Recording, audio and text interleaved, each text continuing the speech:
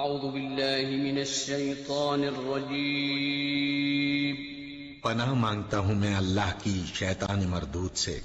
بسم الله الرحمن الرحيم شروع اللہ کا نام لے کر جو بڑا مہربان نہایت رحم والا ہے۔ السلام علیکم ورحمۃ اللہ وبرکاتہ۔ الحمد للہ وکفا وسلام علی عباده الذین اصطفى أشهد أن لا إله إلا الله وحده لا شريك له وأشهد أن محمدا عبده ورسوله صلى الله عليه وآله وسلم. اللهم صل على محمد وعلى آل محمد كما صليت على إبراهيم وعلى آل إبراهيم إنك حميد مجيد. اللهم بارك على محمد وعلى آل محمد كما باركت على إبراهيم وعلى آل إبراهيم إنك حميد مجيد. أما بعد ناظرین کرام، پروگرام روشنی کے ساتھ ایک دفعہ پھر حاضر خدمت ہوں۔ اور جیسا کہ آپ کو معلوم ہے کہ ہم ایک مستقل موضوع کے تحت گفتگو کرتے ہیں، اور موضوع ہے نور ہدایت۔ مقصد اس موضوع کا یہ ہے کہ اللہ پاک کے پاک کلام سے جو کہ کتاب ہدایت ہے، اس سے ہم ہدایت کا نور اور ہدایت کی روشنی حاصل کرنے کی کوشش کریں۔ خواہش اور کوشش میری اور آپ کی، ہم سب کی یہ ہونی چاہیے کہ اللہ کی اس کتاب میں جو ہدایت کا نور موجود ہے، اللہ تعالیٰ اس سے میرے اور آپ کے، ہم سب کے کردار کو منور فرما دے۔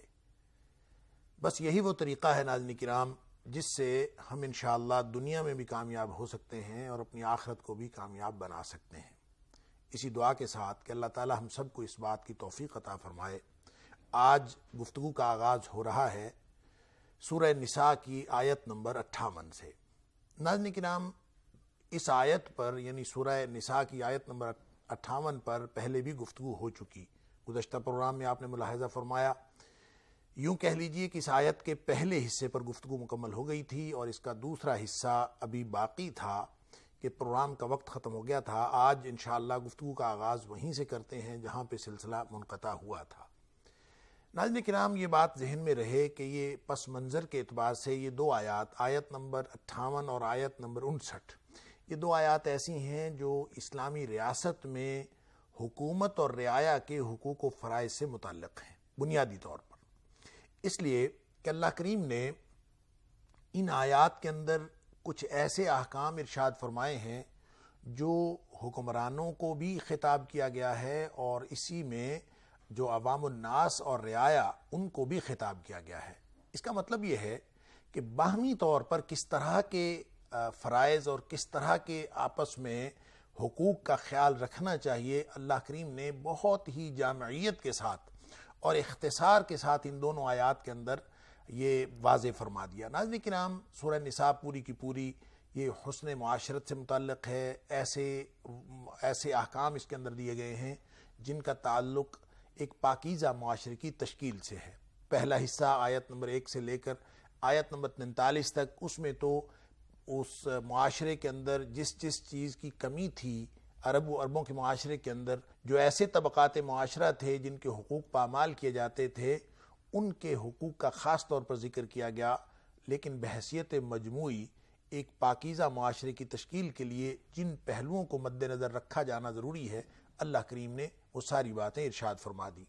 پھر اس کے اگلے حصے میں اللہ کریم نے یہود و نصارہ کو خطاب فرمایا اور ان کو دعوت دین دی، اس لیے کہ امت مسلمہ کو ایک پاکیزہ معاشرے کی تشکیل کے لیے خارجی طور پر جو سب سے بڑی رکاوٹ ہو سکتی تھی اور جو اس وقت بھی موجود تھی ریاست مدینہ کے موقع پر، تو وہ سب سے بڑی رکاوٹ یہود و نصارہ کا کردار تھا۔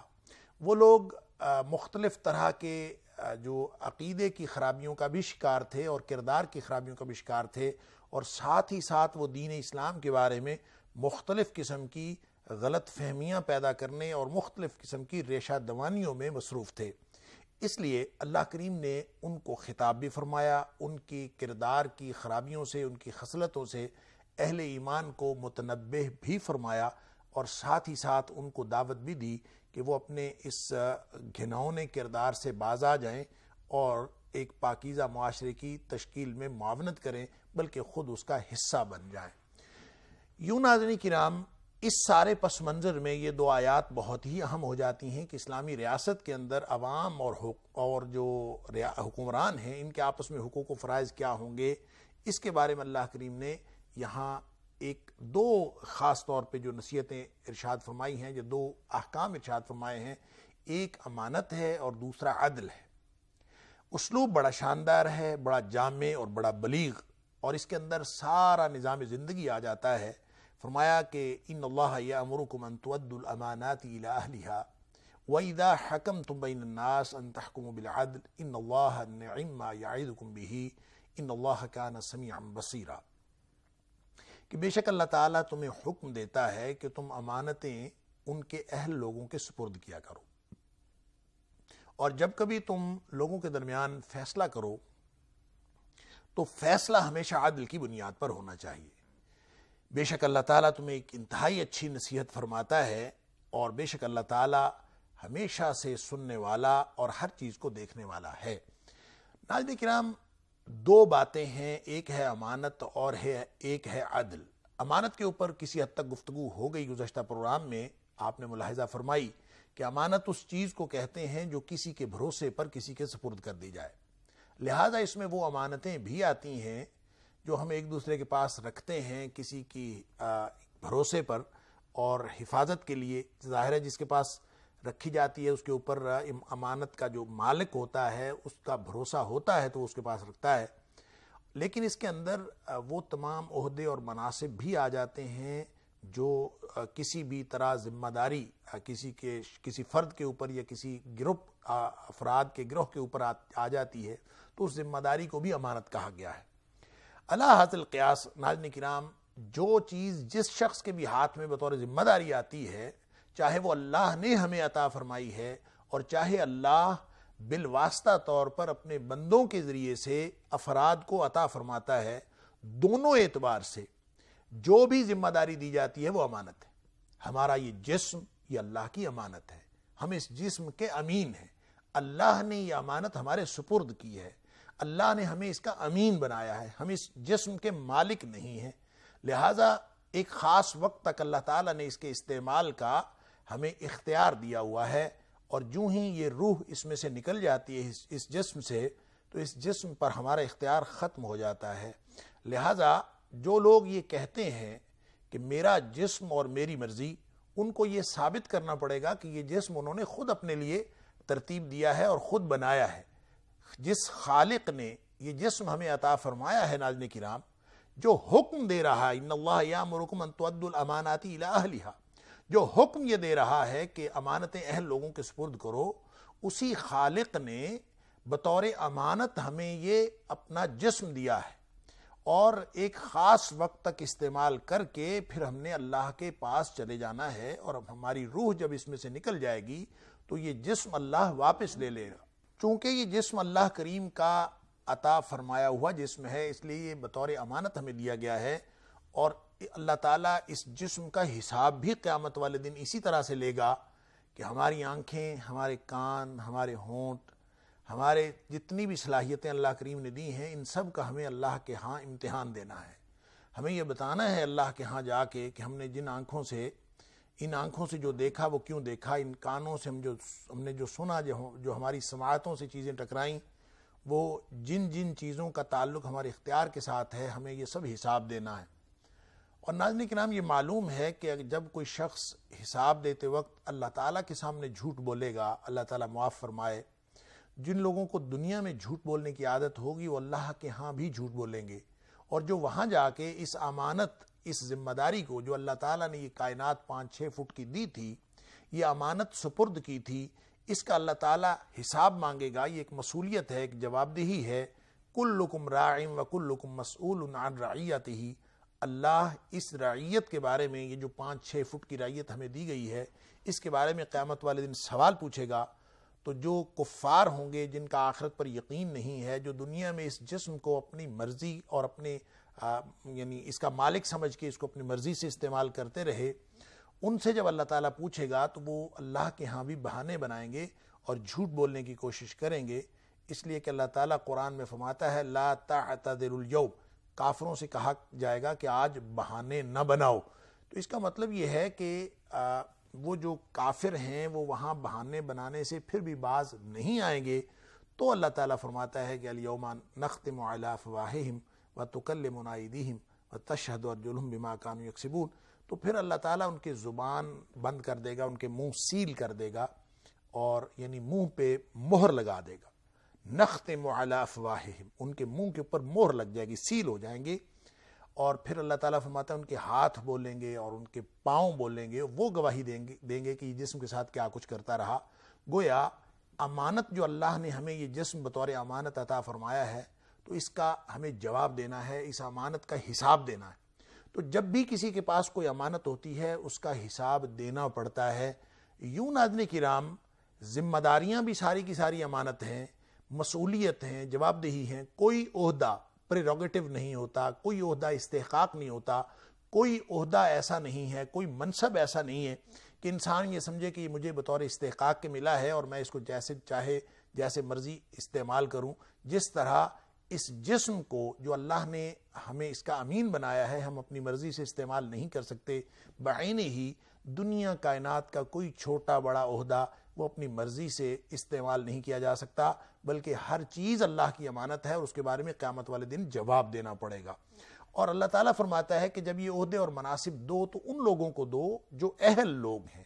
تو جب امانتیں سپرد کی جاتی ہیں، تو اہل لوگوں کو سپرد کی جانی چاہیے۔ ظاہر ہے، جب نااہل لوگ عہدوں پر بیٹھیں گے، تو وہ امانت کا حق ادا نہیں کر سکتے۔ اللہ کے ہاں مسئولیت تو کل کی بات ہے اور وہ آخرت کی بات ہے، یہاں دنیا میں ہی جو شخص بھی نااہل آدمی کسی عہدے پر بیٹھے گا، بالکل ایسے ہی جیسے آپ کوئی جس امانت کو کسی کے پاس رکھنا چاہتے ہیں، آپ کسی نااہل آدمی کو جو بدیانت ہو، جو جس کا رویہ درست نہ ہو، اس کے اندر جھوٹ ہو، اس کے اندر خیانت ہو اور آپ کو معلوم بھی ہو کہ یہ خائن آدمی ہے، آپ اس کے پاس اپنی امانت رکھوا دیں گے تو یقیناً وہ اس کے اندر خیانت کرے گا۔ جب وہ اس کے اندر خیانت کرے گا تو وہ آپ کی امانت کے پلے کچھ بھی نہیں چھوڑے گا، آپ کی امانت کے اندر یقیناً آپ کے لیے نقصان دہ ثابت ہوگا۔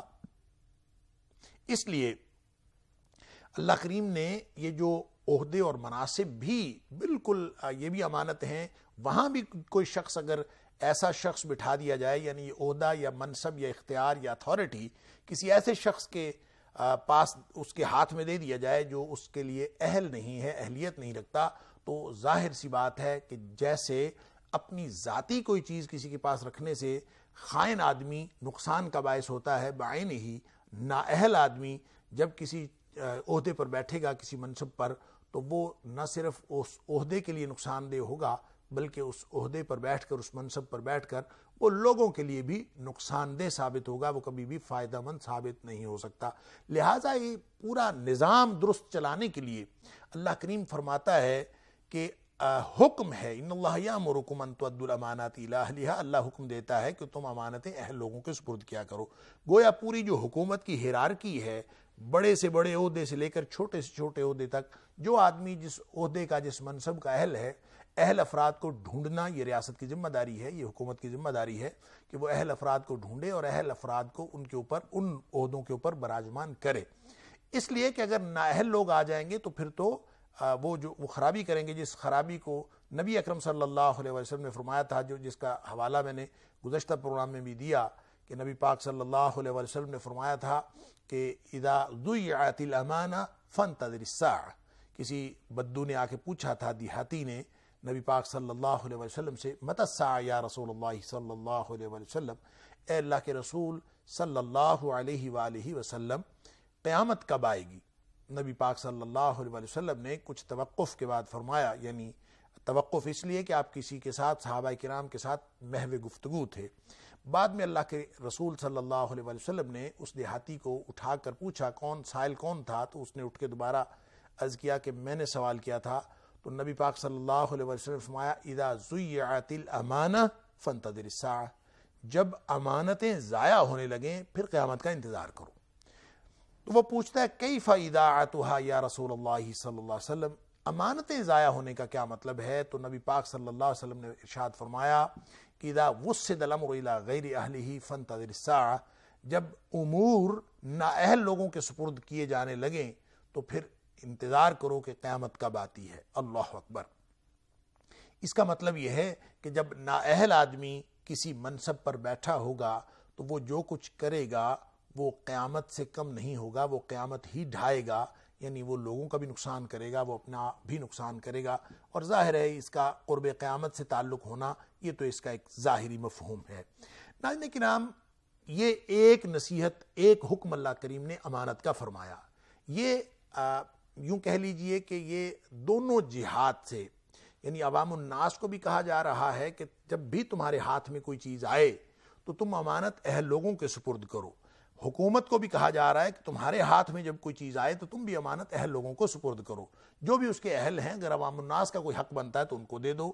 اور اگر عوام الناس کو کہا جا رہا ہے کہ تمہیں تمہارے ہاتھ میں جب کوئی اختیار آتا ہے، بالکل ایسے ہی جیسے آج کل کی جمہوری حکومتوں میں جو ووٹ کا حق ہے، وہ عوام الناس کے ہاتھ میں ہوتا ہے اور بالکل اس کی حیثیت ایک امانت کی سی ہے کہ ان کو کہا جا رہا ہے کہ تم جب یہ اپنے رائے کا حق استعمال کرو، یہ رائے دہی کا حق استعمال کرو، تو تم اہل لوگوں کو یہ ووٹ دیا کرو اور اہل لوگوں کے سپرد یہ امانت کیا کرو۔ اور ظاہر ہے کہ جو لوگ اہل لوگوں کے سپرد امانت نہیں کرتے یعنی ووٹ ڈالتے وقت، اپنی رائے دیتے وقت یہ نہیں دیکھتے کہ یہ آدمی جس کو میں ووٹ دے رہا ہوں یا یہ پارٹی جس کو میں ووٹ دے رہا ہوں، یہ اس بات کے اہل ہیں یا نہیں ہیں؟ جب یہ اس بات کو نہیں دیکھا جاتا تو پھر اس کے نتیجے میں جو کچھ ہمارے سامنے آتا ہے اور جو کوئی شخص ہماری رائے لے کر، ہماری اس امانت کا جو حال کرتا ہے، وہ ایسے ہی ہوتا ہے جیسے وہ قیامت ڈھا رہا ہو۔ اس لیے کہ نبی پاک صلی اللہ علیہ وسلم صادق المصدوق ہیں، آپ سے سچی بات کسی کی ہو نہیں سکتی۔ اس لیے نبی پاک صلی اللہ علیہ وسلم کا فرمان پھر پورا ہوتا ہے کہ اذا وسد الامر الى غیر اہلی فانتظر الساعہ۔ جب آپ اپنا جو معاملہ ہے، اپنے جو امور حکومت ہیں، وہ نااہل لوگوں کو سپرد کر دیتے ہیں، تو پھر بیٹھ کے انتظار کریں کہ قیامت کب آئے گی۔ اور جو کچھ وہ کر رہے ہوتے ہیں، وہ قیامت کا سا سما ہی ہوتا ہے کہ جو عوام الناس کے لیے بھی اور حکومتوں کے لیے بھی اور ریاست کے لیے بھی وہ نقصان کا باعث بنتے ہیں۔ ناظرین کرام، یہ ایک اللہ کریم نے یہ جو گریجول پروسیس بھی ہے اور یہ یوں کہہ لیجیے کہ یہ ملٹی ڈائمینشنل پروسیس ہے۔ یہ ہما جہت قسم کا ایک عمل ہے جو پورے نظام کو پریکٹیکلی چلاتا ہے، اس میں امانت کا یہ بنیادی طور پر حصہ ہے۔ کہ اگر کوئی شخص عوام الناس بھی امانت کا خیال کریں اور یعنی ان لوگوں کے سپرد کریں اور اپنی رائے کا اظہار کریں، اس وقت اظہار کریں جب اظہار کرنے کا موقع ہے۔ مگر نہ، ناظرین کرام زمین میں جتنی بھی خرابی پیدا ہوتی ہے، جتنا بھی یعنی قیامت کا سا سما برپا ہوتا ہے، عوام الناس کے حقوق سلب کیے جاتے ہیں، حکومتوں اور اختیارات اور اتھارٹیز کو غلط استعمال کیا جاتا ہے، ان سب کے اندر بنیادی طور پر یہ خیانت پوشیدہ ہوتی ہے کہ اگر کوئی شخص اللہ کی دیوی امانت کو یا جو بھی اس کے ہاتھ میں جو کچھ آتا ہے اختیار، اس کو وہ درست استعمال نہیں کرتا، تو اس کے نتیجے میں یہ ساری خرابیاں پیدا ہوتی ہیں۔ نبی اکرم صلی اللہ علیہ وسلم کا ایک ارشاد میں آپ کے سامنے رکھتا ہوں، اس سے بات اور واضح ہو جائے گی۔ ناظرین کرام، نبی پاک صلی اللہ علیہ وسلم نے فرمایا کہ اللہ کا قانون، جو عمومی قانون ہے، وہ یہ کہ اللہ تعالیٰ خاص لوگوں کے کیے ہوئے گناہ کا، کی سزا ساری قوم کو نہیں دیتا۔ یعنی چند لوگوں نے کوئی جرم کیا ہو اور ساری قوم کو سزا ملے، یہ اللہ کا قانون نہیں ہے۔ اللہ کا قانون یہ ہے کہ جس نے جتنے لوگوں نے جرم کیا ہوتا ہے، اللہ تعالیٰ انہیں کو سزا دیتا ہے۔ ان اللہ تعالی لا يعذب العامت بعمل الخاصاتی نبی پاک صلی اللہ علیہ وسلم کا فرمان ہے کہ عام طور پر اللہ کا قانون یہی ہے کہ اللہ تعالی چند لوگوں کے کیے ہوئے جرم کی سزا عام لوگوں کو نہیں دیتا۔ ان اللہ تعالی لا يعذب العامت بعمل الخاصاتی جن لوگوں نے، چند لوگوں نے جرم کیا، خاص لوگوں نے جرم کیا، سب کو سزا دے دے اللہ تعالیٰ، ایسا اللہ تعالیٰ نہیں کرتا۔ لیکن یہ ہمیشہ کے لیے یہ اصول کارگر نہیں ہوتا، یہ اصول لاگو نہیں ہوتا۔ اللہ کریم کا یہ ضابطہ تبدیل ہو جاتا ہے۔ نبی پاک صلی اللہ علیہ وسلم نے فرمایا، حتی یہاں تک کہ اذا یرب المنکر بین ظہرانیہم، کہ لوگ اپنے سامنے برائی ہوتی دیکھیں۔ وَهُمْ قَادِرُونَ عَلَى يُنْكِرُوهُ فَلَا يُنْكِرُوهُ لوگ اپنے سامنے برائی ہوتی دیکھیں یعنی عوام الناس، سب کے سب اپنے سامنے دیکھتے ہیں۔ کہ حالات بڑے خراب ہیں، برائیاں ہو رہی ہیں، یا کوئی شخص ایسا ہے جو برائی کر رہا ہے، یا کوئی شخص ایسا ہے جو بدیانتی کا مرتکب ہو رہا ہے، یا کوئی شخص ایسا ہے جس کی بدیانتی مسلمہ ہے اور لوگ پھر بھی اس برائی کو اپنے اوپر مسلط کر رہے ہیں، یا کسی بھی طرح سے خاموش ہیں، وَهُمْ قَادِرُونَ، حالات ایسے ہیں کہ ان کو اللہ تعالیٰ اختیار بھی دیتا ہے اس بات کا، وَهُمْ قَادِرُونَ عَلَىٰ أَن يُنْكِرُوهُ۔ لوگوں کے پاس ہاتھ میں اختیار بھی آیا کہ کم از کم اس برائی کو برائی تو کہیں۔ یہ کہنے کا اختیار آیا۔ وَهُمْ قَادِرُونَ عَلَىٰ أَن يُنْكِرُوهُ اس برائی کو برائی کہنے کا اختیار بھی ان کے پاس آیا، لیکن انہوں نے ایسا نہیں کیا۔ فلا ان کی روح لیکن انہوں نے ایسا کیا نہیں۔ ان کے پاس اختیار آیا کہ وہ ان کو برا کہیں۔ جو غلط ہے، غلط کو غلط کہیں، صحیح کو صحیح کہیں۔ اب اندازہ کیجیے ناظرین کرام، جو حکومت میں لوگ آتے ہیں ہماری جمہوری ریاستوں میں وہ ظاہر سی بات ہے، ہمارے ووٹوں سے آتے ہیں، ہماری رائے سے آتے ہیں، عوام الناس کے دیے ہوئے ووٹوں سے وہ لوگ آتے ہیں۔ تو اس کا مطلب یہ ہے کہ جو جو لوگ حکومت میں آ کے بدیانتیوں کا ارتکاب کرتے ہیں اور اپنے اختیارات کا ناجائز استعمال کرتے ہیں، تو اس وقت جب ان کے انتخاب کے موقع پر عوام الناس کی اس بات کا خیال نہیں رکھتے کہ کون دیانتدار ہے، کون دیانتدار دیانتدار نہیں ہے، تو گویا یہ عوام الناس کو بھی سزا ملتی ہے اس بات کی کہ وَهُمْ قَادِرُونَ عَلَىٰ يُنْكِرُوهُ، فَلَا يُنْكِرُوهُ۔ ان کو یہ اختیار ملا کہ وہ ان کا بائیکاٹ کریں، وہ ان کو برا کہیں اور ان کا انکار کر دیں، ان کو ریجیکٹ کر دیں۔ ان کو ریجیکٹ کرنے کا اختیار ملا، فلا یون کی روح لیکن انہوں نے ایسا نہیں کیا۔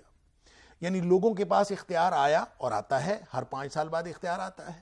لوگوں، لوگ ایسے لوگوں کو جو بدیانت ہیں، ایسے لوگوں کو جو جھوٹ بولتے ہیں ایسے لوگوں کو جو فراڈ کرتے ہیں، ایسے لوگ جو نہ حکومت کے لیے نہ ریاست کے لیے مفید ہیں، نہ عوام الناس کے لیے مفید ہیں، ان لوگوں کو جب لوگ دوبارہ منتخب کرتے ہیں یا دوبارہ ووٹ دیتے ہیں، تو اس کا مطلب یہ ہے کہ لوگ نااہل لوگوں کے سپرد امانت کر رہے ہیں۔ چاہے وہ ووٹ کی پرچی جتنی مرضی آپ کے ہاتھ میں، آپ کہتے ہیں ایک ووٹ سے کیا ہوتا ہے؟ سب کچھ ایک ووٹ سے ہوتا ہے آپ جب ایک رائے دیتے ہیں، عوام الناس سب گونگے شیطان بن جائیں اور ان لوگوں کے خلاف آواز نہ اٹھائیں اور ایس اپنے زبان سے جو کہہ سکتا ہے وہ نہ کہے کہ یہ برا ہے۔ اللہ اکبر۔ تو اللہ تعالی اللہ کے رسول صلی اللہ علیہ وسلم نے فرمایا کہ اللہ کا وہ قانون پھر تبدیل ہو جاتا ہے۔ جس قانون کو نبی پاک صلی اللہ علیہ وسلم نے پہلے بیان فرمایا۔ کیا قانون تھا؟ ان اللہ تعالی لا يعذب العامت بعمل الخاصاتی خاص لوگوں نے جرم کیا ہو، اللہ تعالیٰ سارے عوام کو اس کی سزا نہیں دیتا۔ حتیٰ یہاں تک کہ اذا یرب المنکر بین، جب بھی وہ کوئی برائی دیکھیں، بین ظہرانیہم اپنے آنکھ سامنے، آنکھوں کے سامنے برائی ہو رہی ہے، اس کو دیکھتے ہیں۔ وَهُمْ قَادِرُونَ عَلَىٰ يُنْكِرُوهُ فَلَا يُنْكِرُوهُ۔ لوگوں کے پاس اس بات کا اختیار بھی آیا کہ وہ کم از کم اس کو ریجیکٹ کر دیں۔ نہیں ریجیکٹ کیا۔ اللہ کے رسول صلی اللہ علیہ وسلم نے فرمایا کہ وَإِذَا فَعَلُوا ذَلِكَ، جب لوگ اس طرح کا کردار پیش کرنا شروع کر دیتے ہیں، تو پھر اللہ کا قانون بدل جاتا ہے۔ پھر ایسے ہوتا ہے کہ عزب اللہ تعالی العامت والخاصہ پھر اللہ تعالی ہر خاص و عام کو اس جرم کی سزا دے دیتا ہے، جو اگرچہ سب نے وہ جرم نہیں کیا ہوتا، جرم کسی ایک نے کیا ہوتا ہے، لیکن لوگوں کا جرم یہ ہوتا ہے، عوام الناس کا جرم یہ ہوتا ہے کہ عوام الناس اس برائی کو برائی کہنے پہ بھی اپنی رائے کا اظہار درست طریقے سے نہیں کرتے۔ اور وہ امانت جو ان کے ہاتھ میں تھی، اب دیکھیں ہم شخص ہم سب۔ ریاست اسلامی کا ہر فرد جو ہے وہ ذمہ دار ہے۔ اور جب وہ ہر شخص ذمہ دار ہے تو جب اس کے پاس جتنی ذمہ داری اس کے پاس آئی، اگر اس نے اس میں امانت میں خیانت کی تو وہ قیامت والے دن اللہ کے ہاں جواب دہ ہوگا۔ اسی سے سارے معاملات خراب ہوتے ہیں۔ تو ایک امانت ہے جس سے پورا نظام نظام ریاست، نظام حکومت اور عوامی سطح پر جو خدمات کا اور اختیارات کی تقسیم کا اور اختیارات کے استعمال کا پورا نظام جو ہے وہ ایک طرف امانت سے جڑا۔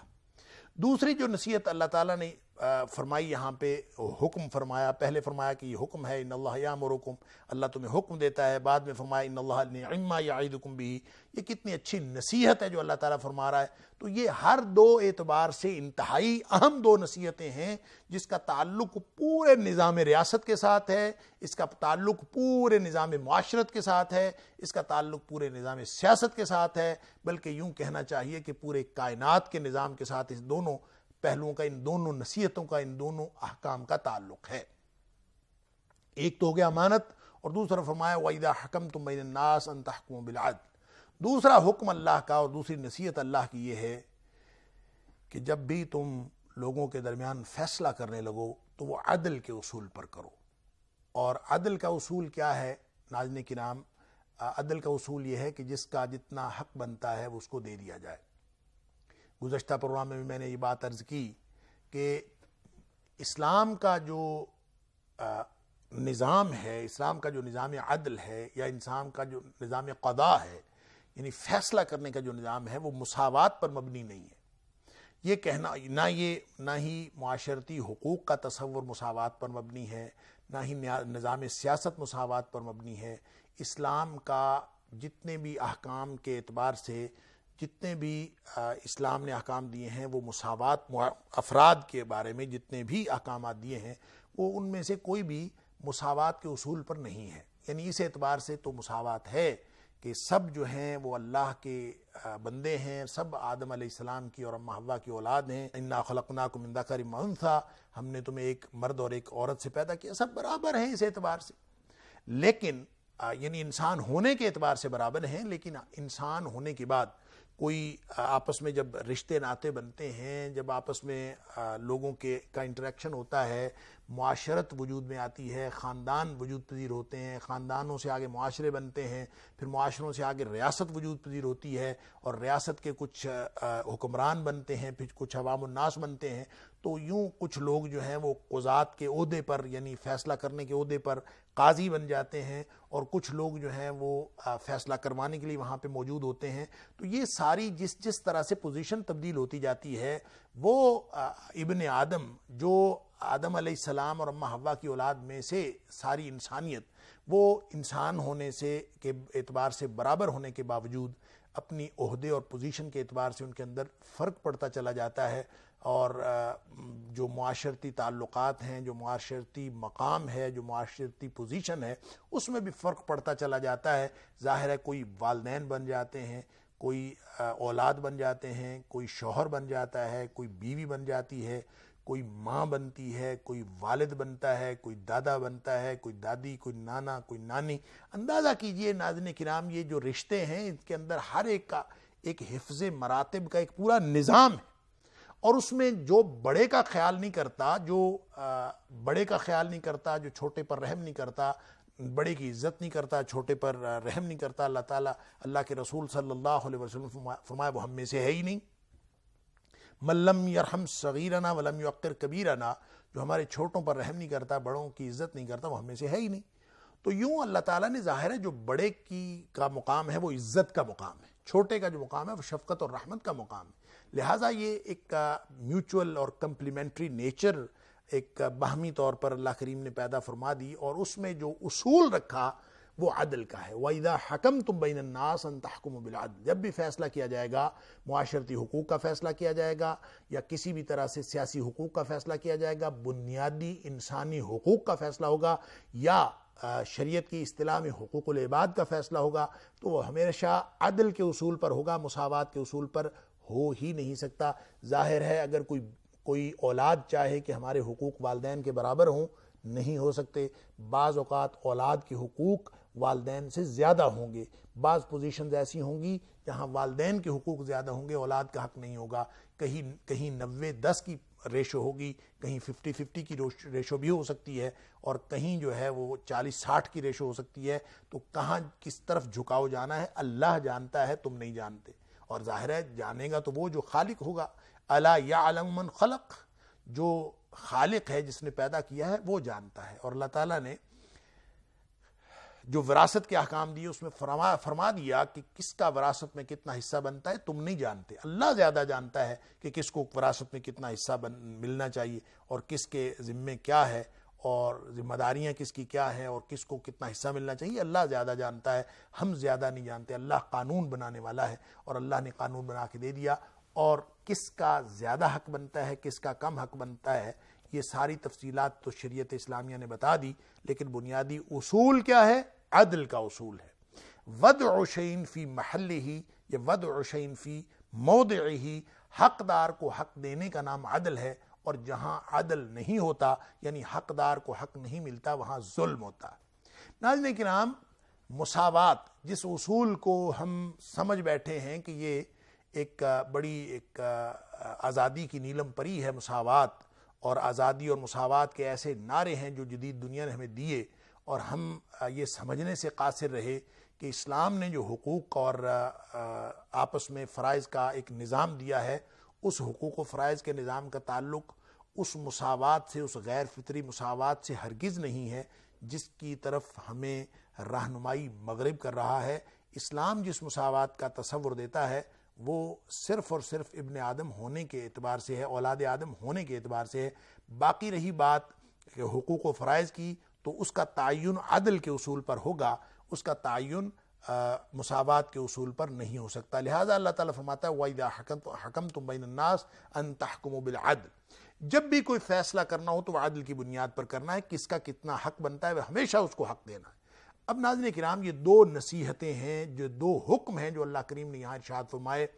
شروع میں فرمائے ان اللہ یامرکم ان تودوا الامانات الى اهلها واذا حكمتم بين الناس ان تحكموا بالعدل۔ اللہ تمہیں حکم دیتا ہے امانت کا اور عدل کا۔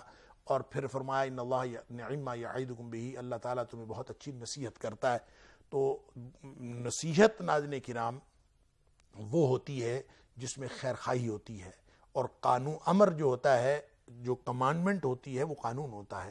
قانون کسی کے حق میں بھی ہو سکتا ہے، کسی کے خلاف بھی ہو سکتا ہے۔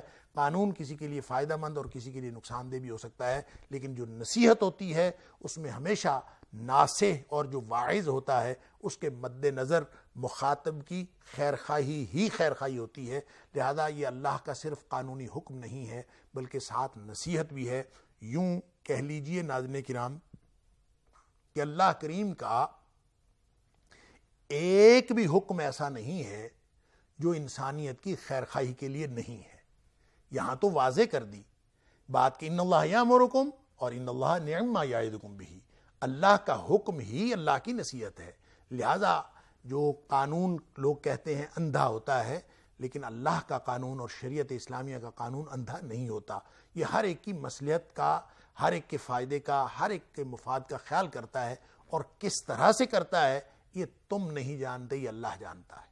ہم کہیں کسی قاتل کو سزا دیتے ہوئے اپنے دل میں نرمی پاتے ہیں، ہمیں، ہمارا دل کرتا ہے کہ قاتل مقتول تو قتل ہو گیا اور قاتل کو اس کے قصاص میں ہم کیوں قتل کریں؟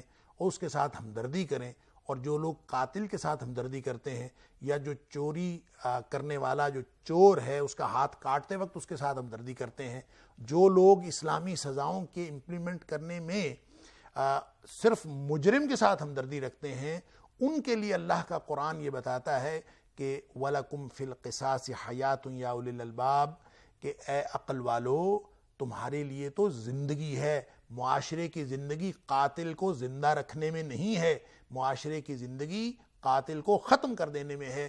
ایک قاتل مرے گا، پورے معاشرے کے اندر آئندہ قتل لوگ کرتے وقت سوچیں گے۔ ایک چور کا ہاتھ کٹے گا، آئندہ معاشرے کے اندر امن امن ہو جائے گا۔ لہذا اللہ نے جتنے قوانین دیے ہیں، ایک بھی قانون اللہ کا ایسا نہیں ہے جو انسانیت کے لیے نصیحت اور خیر خواہی نہ ہو۔ اس لیے کہ دین تو نارین کرام ہے ہی پورے کا پورا خیر خواہی کا نام۔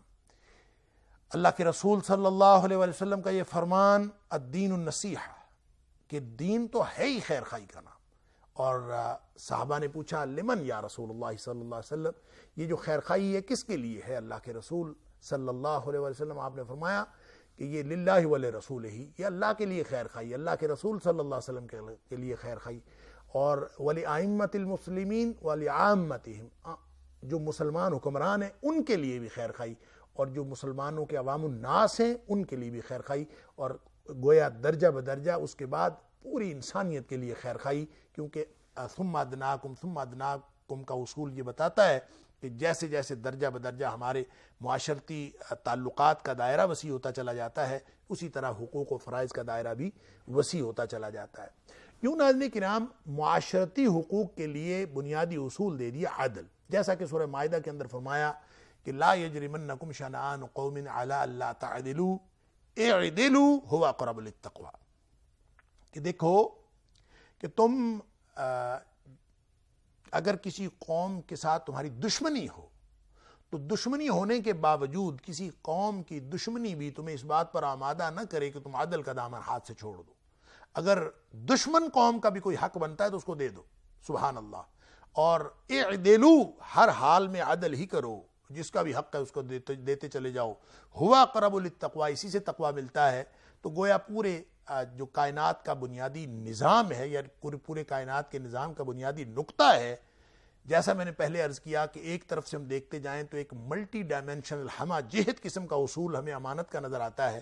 اور جب دوسری طرف ہم عادل کی طرف دیکھتے ہیں تو ایسے لگتا ہے کہ یہ بھی ایک ہما جہت اصول ہے، جس پر پوری کائنات کا نظام کا انحصار ہے۔ کہ دیکھیں، بھائی بھائی کو حق دے یہ عدل ہے، بھائی بھائی کو حق نہ دے یہ ظلم ہے۔ اور اسی طرح سے کوئی اگر والدین کو حق نہیں دیتا، وہ بڑا ظالم ہے۔ اور کائنات میں لوگ بڑے ظالم ہوتے ہیں۔ اور اللہ کے رسول صلی اللہ علیہ وسلم فرمایا، والدین کا حق جو ہے وہ تو معاشرتی طور پر سب سے بڑا حق ہے اور والدہ کا حق حسن سلوک کے اعتبار سے سب سے زیادہ ہے اور والد کا حق اطاعت کے اعتبار سے سب سے زیادہ ہے اور اگر کوئی شخص والدین کو والدین کا حق نہیں دیتا وہ بڑا ظالم ہے، جو حق دیتا ہے وہ عدل کرتا ہے اور جو یہ بات ناظرین کرام میں پہلے بھی عرض کر چکا ہوں کہ حقوق جو متعین ہوتے ہیں، آیت نمبر چھتیس میں جہاں حقوق العباد کی بات ہوئی تھی، بہت تفصیل کے ساتھ میں نے یہ بات عرض کی تھی، آپ کے سامنے رکھی تھی کہ جو حقوق کے تعین کا اصول ہے وہ عدل ہے۔ اور حقوق کی ادائیگی کے لیے جو ہمیں حکم دیا گیا ہے وہ احسان کا حکم دیا گیا ہے کہ جب حقوق ادا کرنے ہیں تو وہ احسان کے اصول پر کرنے ہیں۔ ہمیشہ کوئی بالکل پریسائز حساب کرنے کی، ٹکے ٹکے کا اور چھوٹے چھوٹے حساب کرنے کی ضرورت نہیں ہے، بلکہ کہ اتنا بنتا ہے، بس میں نے اتنا کر لیا، اس سے زیادہ نہیں کرنا، نہیں۔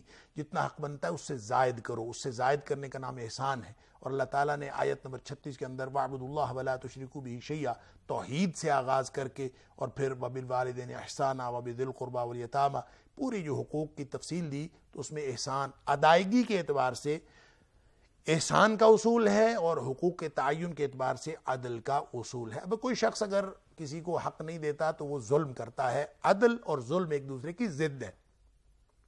یوں ناظرین کرام، اگر سب لوگ ایک دوسرے کا حق دے رہے ہوں تو عدل کا نظام قائم ہے۔ حکومت عوام الناس کو ان کا حق دے رہی ہو، عوام الناس حکومت کو ان کا حق دے رہے ہوں، سب ایک دوسرے کے جو حقوق ہیں وہ پورے کر رہے ہوں تو یہ عدل کا نظام ہے۔ اور ان ساری جو امت کے جتنے بھی آپس میں معاشرے کے طبقات ہیں یا یہ جو جتنے بھی حقوق و فرائض ہیں، ان سب سے اوپر حق ہے اللہ کے رسول صلی اللہ علیہ وسلم کا جو جو نبی پاک صلی اللہ علیہ وسلم کو حق نہیں دیتا، وہ تو بڑا ظالم ہے۔ اگر وہ عدل کا اصول رکھتا ہے، تو وہ نبی پاک صلی اللہ علیہ وسلم کو بھی حق دے، تو وہ نبی کریم صلی اللہ علیہ وسلم کا حق، وہ ساری مخلوق کے حق سے زیادہ بڑا حق ہے۔ اور جو شخص جو شخص نبی پاک صلی اللہ علیہ وسلم کو حق نہ دے، وہ بڑا ظالم ہے اور جو اللہ کو اللہ کا حق نہ دے، وہ کائنات کا سب سے بڑا ظالم ہے۔ اس لیے اللہ کریم نے قرآن میں فرمایا، ان شرک اللہ ظلم العظیم کائنات کا سب سے بڑا ظلم جو ہے، وہ شرک ہے۔ تو جو اللہ کے ساتھ کوئی شرک کرتا ہے، وہ اللہ کو اللہ کا حق نہیں دیتا، تو وہ ظلم کا ارتکاب کرتا ہے۔ یوں ناظرین کرام اعدلو ہوا اقرب التقوی امام غزالی نے بجا طور پر یہ بات کہی کہ اگر لوگ صرف ایک لفظ، ایک کلمہ اعدلو صرف اسی کو اپنا لیتے یعنی امام شافی علیہ الرحمہ نے تو یہ کہا تھا نا ناظرین کرام سورہ العصر کے بارے میں کہ اگر یہ ایک صورت نازل ہو جاتی اور وہ صورت اتنی جامع ہے، صورت العصر، کہ لوگ اگر اسی ایک صورت کو سمجھ کر، اسی پر عمل کر لیتے، تو پوری انسانیت کے فلاح کے لیے وہ ایک صورت ہی کافی تھی، اگر یہ ایک سو چودہ صورتیں نہ بھی نازل ہوتی۔ تو امام غزالی نے کہا، ایک کلمہ ایسا ہے، لوگ اگر اسی کو سمجھ جائیں اور اسی پر عمل کر لیں اور اسی کو اپنی زندگی کا اصول بنا لیں، تو انسانوں کی کامیابی کے لیے، دنیاوی اور اخروی کا، دنیاوی اور اخروی کامیابی کے لیے یہی ایک اصول کافی ہے۔ اور وہ کیا ہے؟ وہ ہے اعدلو، کہ عدل کیا کرو اسی سے ہوا اقرب التقوا اسی سے تقوا آتا ہے اور اسی سے دنیا اور آخرت کی کامیابیاں ملتی ہیں۔ اسی سے انسان اللہ کی ناراضگی سے بچتا ہے اور اسی سے اللہ تعالیٰ کی رضامندی حاصل ہوتی ہے۔ فرمایا، ان اللہ نعما یعیدکم بھی یہ بہت اچھی نصیحت ہے جو اللہ تعالیٰ نے تمہیں کر دی یعنی امانت اور عدل، امانت اور عدل۔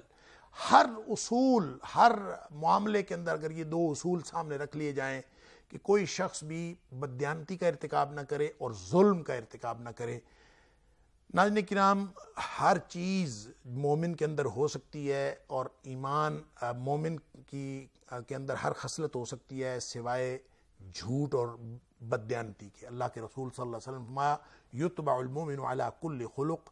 مومن کے اندر ہر قسم کی خصلت ہو سکتی ہے۔ دو باتیں مومن میں نہیں ہو سکتی، الا الخیانہ والکذب۔ جھوٹ اور بدیانتی مومن کے اندر نہیں ہو سکتی۔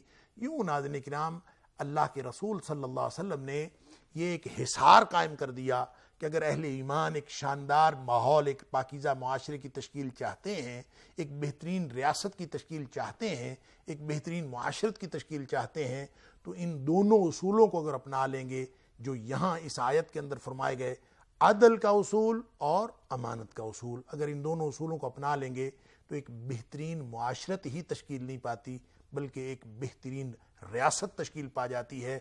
وہی ریاست ناظرین کرام جس کو ہم ریاست مدینہ کہتے ہیں، جو اللہ کے رسول صلی اللہ علیہ وسلم نے مدینہ کے اندر قائم کر کے دکھائی اور پوری دنیا کے لیے مثال بنا دی۔ اللہ تعالیٰ مجھے اور آپ کو، ہم سب کو اس بات کی توفیق عطا فرمائے کہ ہم کتاب اللہ سے ہدایت حاصل کریں اور اپنے اپنے منصب کے مطابق، اپنے اپنے اختیار کے مطابق اس کو اپنی زندگی میں امپلیمنٹ کرنے کی کوشش کریں۔ اسی دعا کے ساتھ ناظرین کرام آج کا پروگرام ختم کرنے کی اجازت چاہتا ہوں۔ السلام علیکم ورحمۃ اللہ وبرکاتہ۔